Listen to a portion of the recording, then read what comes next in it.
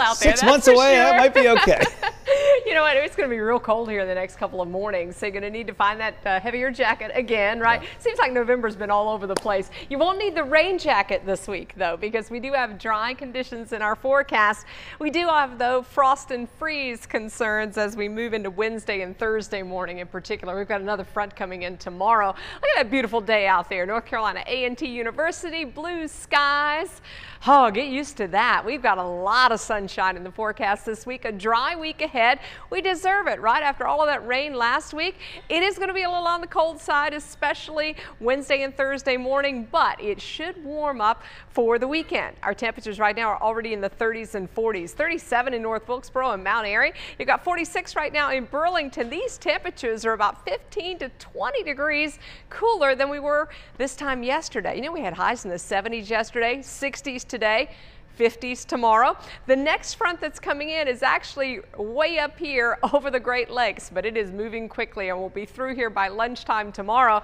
You notice that the folks to the east, these are all river flood warnings that are still up. So our waters have receded.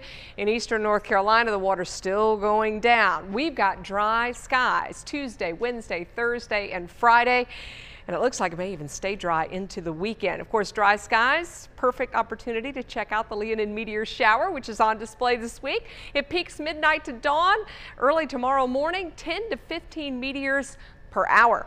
It is going to be cool though. Temps will be in the mid to upper 30s tomorrow morning and a little bit cooler in the mountains. There's our next front. Look, there's snow with it. Ooh, I don't want any part of that. There is cold air behind it. Temperatures in the teens and 20s.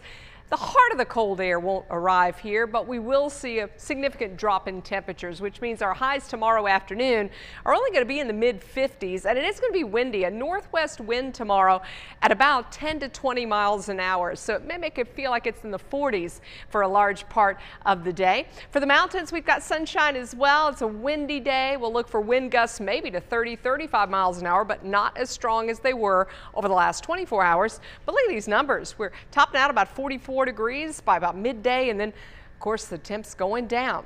Our coolest afternoon looks right now to be Wednesday with temperatures in the upper 40s in the triad. Then we'll start that climb into the 50s for Thursday and 60s for Friday.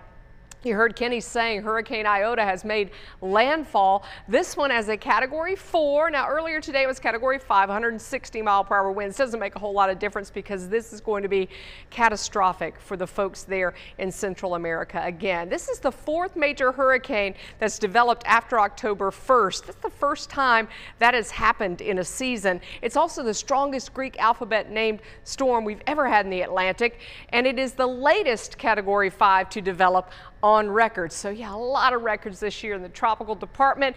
Let's get a closer look at the eye of this storm, which by the way is making landfall about 15 miles south of where Eta made landfall. So this is an area that already had a, an estimated 150 deaths from that first storm. And now they're looking at this other storm coming through, moving across Central America. They're looking at high storm surge with this one, maybe 30 plus inches of rain, 15 to 20 foot storm surge, and of course those hurricane force winds.